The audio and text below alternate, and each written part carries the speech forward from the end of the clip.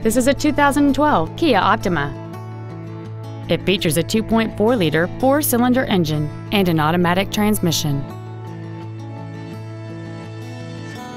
Features include air conditioning, a split folding rear seat, cruise control, a CD player, front side impact airbags, a rear window defroster, a security system, a traction control system, keyless entry, and this vehicle has fewer than 34,000 miles on the odometer. With an EPA estimated rating of 35 miles per gallon on the highway, fuel efficiency does not take a backseat.